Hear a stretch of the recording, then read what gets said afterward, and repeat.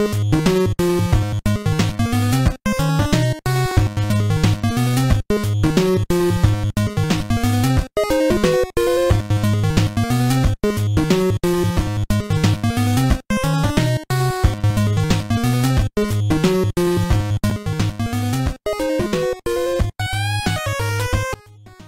internetlapú, mit keresel te itt? Úgy bekukantottál hozzám, hogy éppen mit csinálok, már rég jelentkeztem? Játszok. Mint mindig. Játszok, játszok, játszok. Hogy mivel játszok? Hát most fedeztem fel egy macskás játékot, képzeld el, egy cicát kell benne irányítani. Úgy képzeld el, hogy ilyen ugrálós, platformer, igen, igen, tehát nem végül is különböző akadályokon kell keresztül jutni, de egy ilyen kóbormacska-szerűséggel. Mm, igen, egy gömb az ő társa, tehát ő segít neki, egy ilyen kis gömböcske, őt kell követni, különböző mindenfélét megismersz rajta keresztül, felfedezel egy teljesen új világot. Hogy mi? Te azt hiszed, hogy én a stray játszok? Nem nézted meg a címet? Az a szabály, hogy mindig arról fogok beszélni, ami a címben van. És amúgy se futja nekem egy ps ez csak egy ócska szakadt mobiltelefon.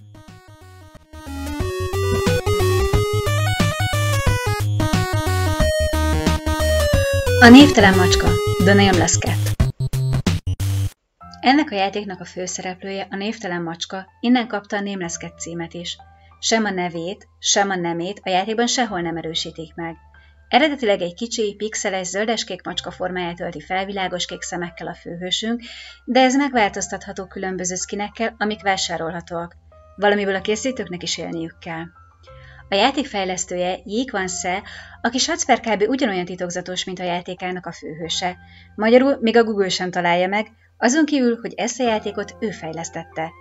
Márpedig, akiről a Google egy sort sem talál, az eléggé titokzatos egyéniség lehet. A Nameless Cat 2020. február 10-én jelent meg a Google Play-en a Kotoba Games kiadó gondozásában. Túl sok kritikát vagy hírverést nem kapott, minden esetre a Google Play-en 1 millió letöltés után 4,5-en áll az értékelése, ami valljuk a Google Store-ban kiemelkedőnek számít.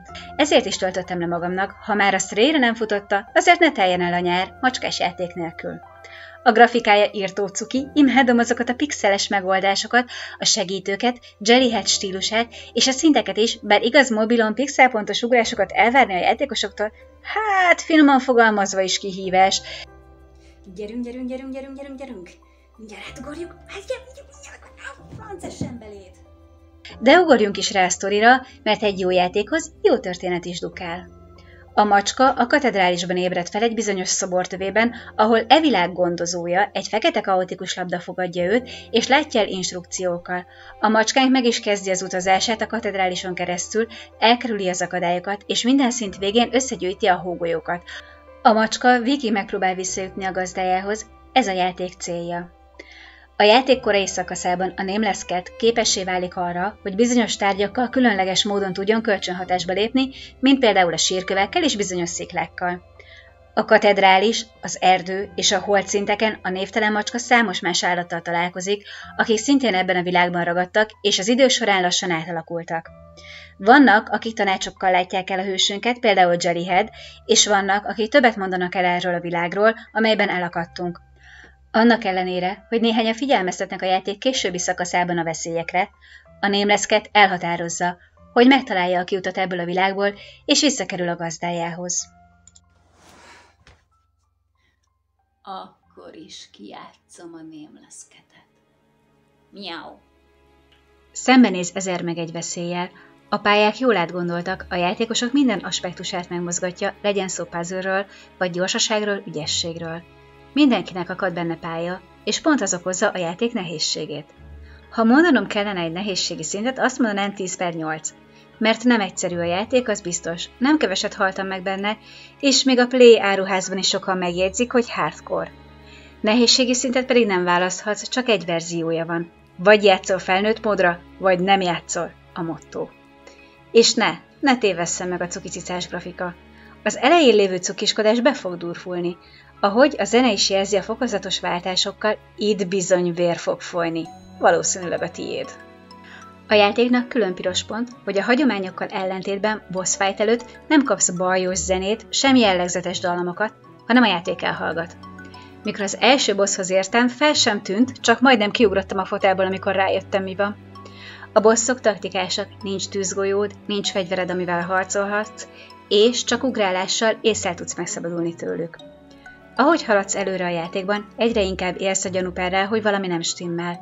A fekete kaotikus labda, aki eleinte a vezetőd és segítőd volt, egyre inkább követeli tőled a hólabdák és macskakaja konzervek megszerzését. Ezek az úgynevezett kincsek. Egyre meredekebb kalandra hív, és minden szinten belebegteti előtted, hogy csak ezt az egyet teljesítsd, és hazajuttat a gazdádhoz.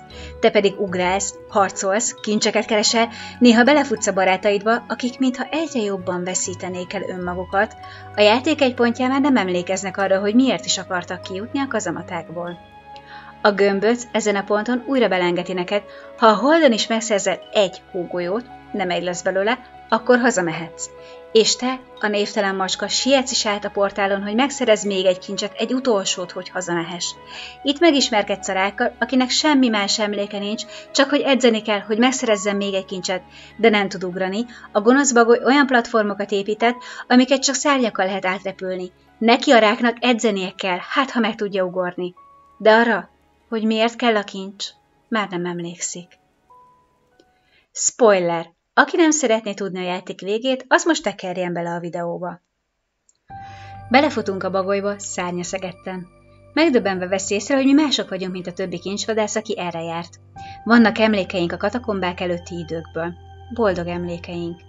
Figyelmeztet, hogy a labda veszélyes, hogy ő itt az igazi gonosz, és ha meg akarjuk tartani az emlékeinket az otthonunkról, akkor ne keressük meg az utolsó kincset.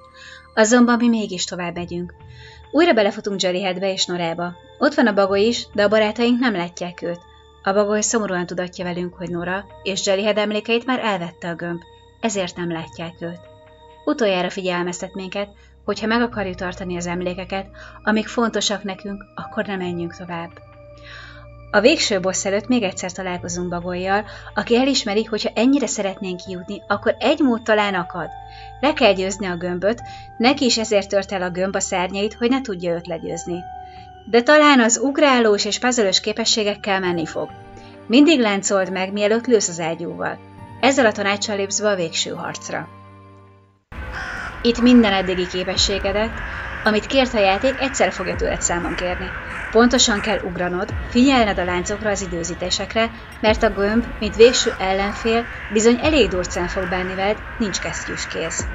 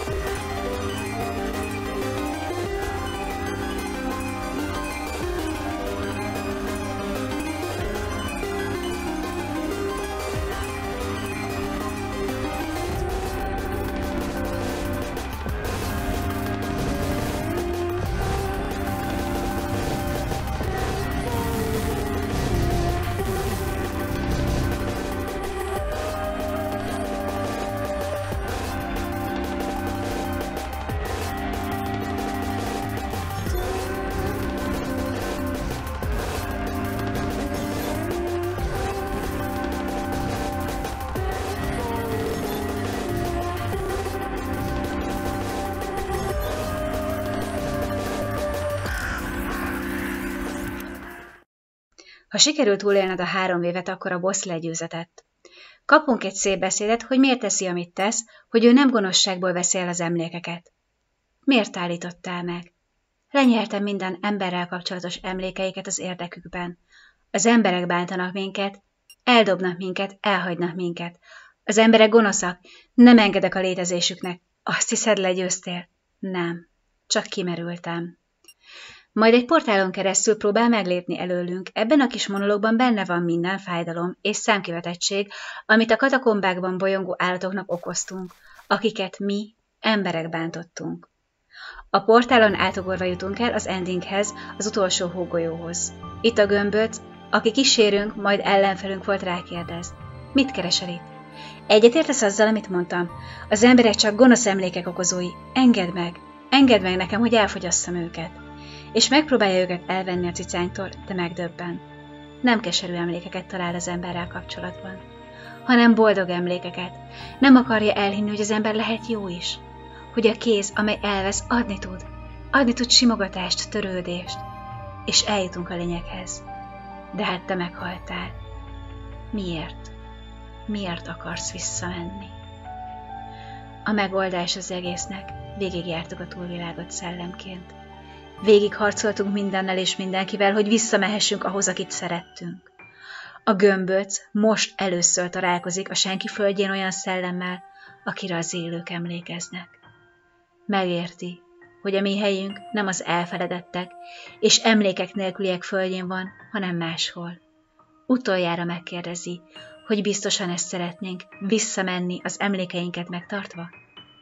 Majd figyelmeztet minket. Ha egyszer visszatérünk ide, nem fogunk tudni többé emlékezni a gazdinkra, de ha itt maradunk, majd elharapja a mondatot, tudja, hogy bármi áron haza akarunk. Még egyszer utoljára menni hozzá. Így visszaenged minket az otthonunkba, és még egyszer végigjárhatjuk azt, immáron szellemként. Látjuk, hogy alszik a gazdi, hogy a falon van a fényképünk.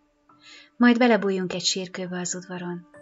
A gömböc még megpróbálja kideríteni a nevünket, de nem tudja elolvasni a feliratot. Ott hagy minket láthatatlanul, a szeretet otthonunkban.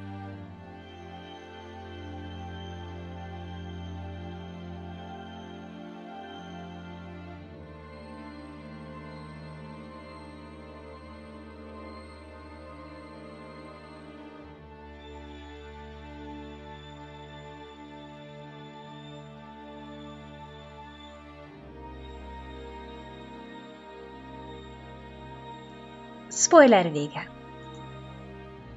A játék összességében a részemről 9 per 10, mert nem csak ügyesség és logikai játék, és nem csak azért, mert kilóra megvesz a grafika és a cicás tematika, hanem mert mondani valója is van. Csodálkozom, hogy nem kapott a játék nagyobb hírverést, hiszen minden egyben van, ami egy jó játékhoz szükséges.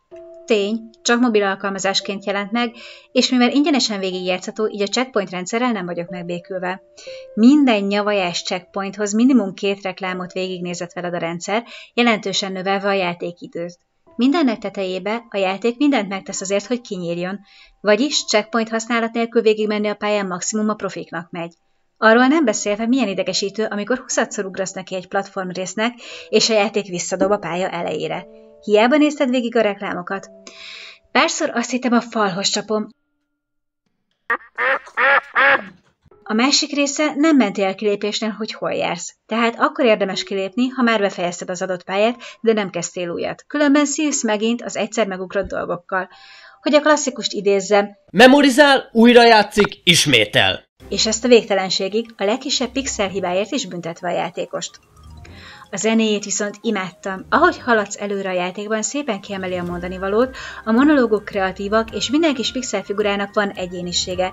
Például Jellyhead, a kis beképzelt, minden beszélgetést úgy zár le. Miért vagyok olyan fantasztikus? A megkeseredett bagoly, aki nem akarja elveszteni az emlékeit, a rák, aki megy előre mindig edz, hogy meglegyen a kincs, Nora a kis egyszerűségével, ahogy képes összekapni Jellyheaddel, mert az beképzelt, karaktereket kaptak. Még ha néha kicsit klisések is, de van egyeniségük, amit sok játékból hiányolok. A főhősünk névtelenségével, és azzal, hogy nemet sem kapott, bármelyikünk cicája lehetne, így könnyebben beleéli magát az ember lánya a történetbe. Nem ajánlom kisgyereknek, főleg angol tudással, mert kb. 20 percet bögtem én is a végén, és muszáj volt macskát simogatnom, hogy megnyugodjak. A három banditem három irányba szaladt, hogy anya, csak engem ne nyomorgass meg, úgyhogy érzékenyebb lelkűeknek sem javallott. Viszont ha tartalmas játékkal szeretnél játszani, és neked sincs profi géped vagy konzolod, akkor elég csak a telefonod, és nosza rajta, ugord neki te is a kalandnak. Én meg megcélzem a boltot csokért. Azt hitted ennyi? Konklúzió nélkül hagylak? Jaj, te kis huncut! És hogy mi a konklúzió? Mert mindig vonok le konklúziót. A szeretet örök. És legyünk bármilyenek is az emberek szemében. Egy valami biztos. A kis kedvenceink szemében mi mindig jók leszünk. Mindig számíthatunk rájuk, és bármi történjék is, mindig ott lesznek velünk, akár láthatatlanul.